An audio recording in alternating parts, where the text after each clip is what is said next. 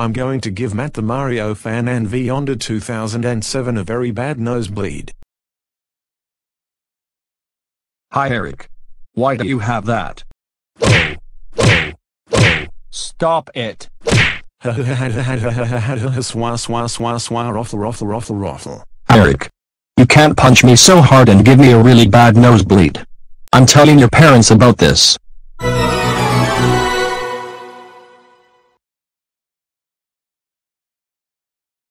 So that's what happened. End of story. Thanks for telling us Matt the Mario fan and Vyonder 2007.